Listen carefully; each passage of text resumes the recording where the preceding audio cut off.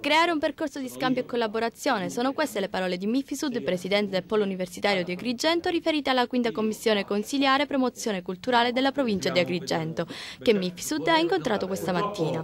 All'incontro si è discusso su vari progetti ed iniziative che serviranno a creare un'alternativa e che avranno anche delle ricadute positive per il nostro territorio provinciale. Fra le varie proposte presentate anche quella di avviare nuovi corsi di laurea che serviranno a creare nuove figure professionali da inserire nel mondo del lavoro. Ottime prospettive quindi per il polo universitario di Agrigento.